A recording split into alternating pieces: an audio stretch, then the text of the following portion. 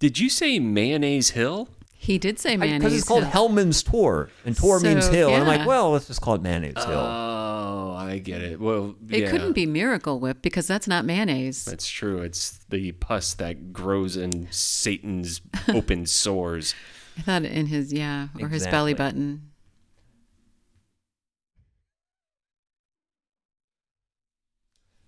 So England has. Uh, How do you recover from that? That's what you're saying. How do you recover from you possibly recover. That's. pivot? Pivot?